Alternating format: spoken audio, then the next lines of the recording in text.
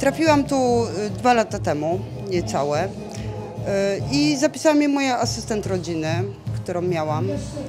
I to była bardzo dobra decyzja, bo wiele, wiele rzeczy się zmieniło w moim życiu. Y, Byłam tutaj dwie edycje, po trzy miesiące. Później poszłam na staż z Urzędu Pracy do MOPR-u i teraz jestem na umowę o pracę w MOPRze, z czego bardzo się cieszę.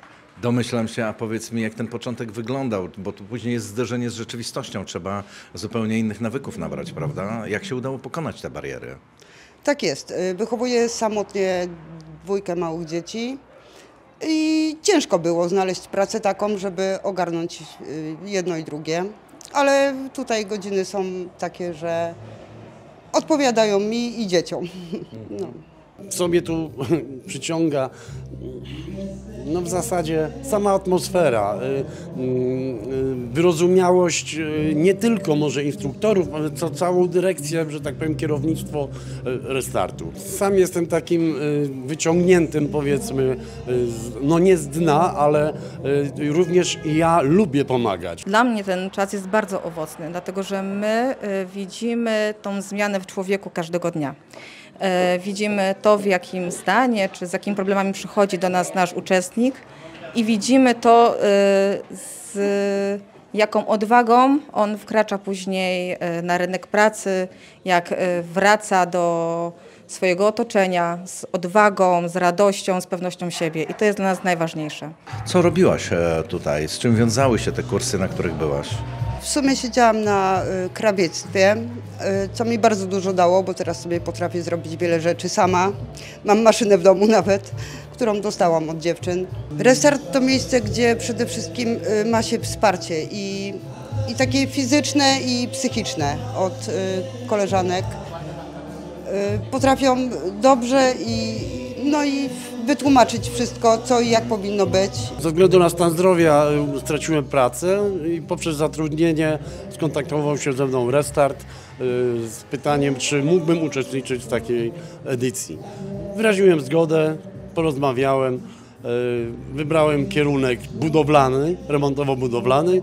No, są jeszcze ten kra- krawiecki i stolarski, ale ja wybrałem ten budowlany, bo jest związany bardziej z moimi umiejętnościami. My tu mamy wiele kryzysów, bo tutaj jest i są osoby i w kryzysie bezdomności, i z uzależnieniami. Są e, samotne matki. E, to jest, przekrój jest e, bardzo duży.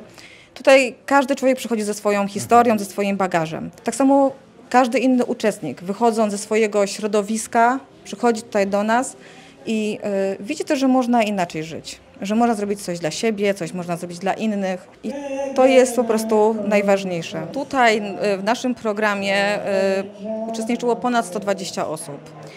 Niestety, część osób e, jeszcze nie, albo nie była gotowa, albo to nie był ten czas, albo nie pozwolili sobie na, na to, żeby coś zmienić. I tutaj, chociaż naj, chociażbyśmy mieli najszczersze chęci, to albo musimy poczekać jeszcze na tego uczestnika. Natomiast mamy mnóstwo sukcesów.